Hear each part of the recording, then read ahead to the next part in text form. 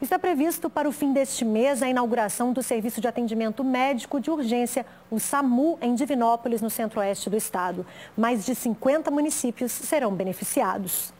Dia 30 de maio de 2017 é a nova data prevista para o início dos trabalhos do SAMU na região centro-oeste. A inauguração foi adiada por várias vezes. Esse é um processo de construção ao longo de três anos, com a participação dos municípios da região ampliada oeste. Né? Nós tivemos né, muito critérios na, nas contratações, processo seletivo, né? a formação do próprio consórcio, tudo isso demandou um determinado tempo. A definição da nova data para a inauguração só foi possível graças à garantia do repasse de 2 milhões e 300 mil reais por mês por parte do governo do estado.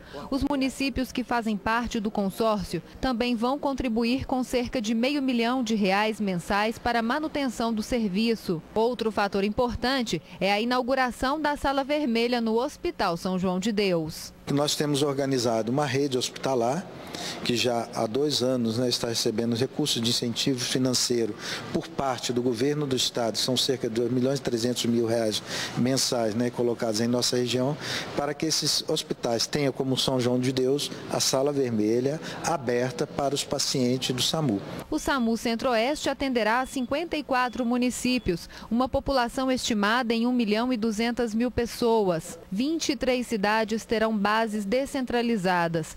Ao todo, serão 31 ambulâncias em funcionamento, sendo sete delas tipo UTI móvel. É aqui na sala de regulação que todas as ligações para 192 serão direcionadas. No atendimento estarão sempre quatro técnicos de regulação e três médicos. A capacidade é de receber até 60 ligações simultâneas. O tempo entre o atendimento da ligação e o início do deslocamento da ambulância é de no máximo um minuto e meio.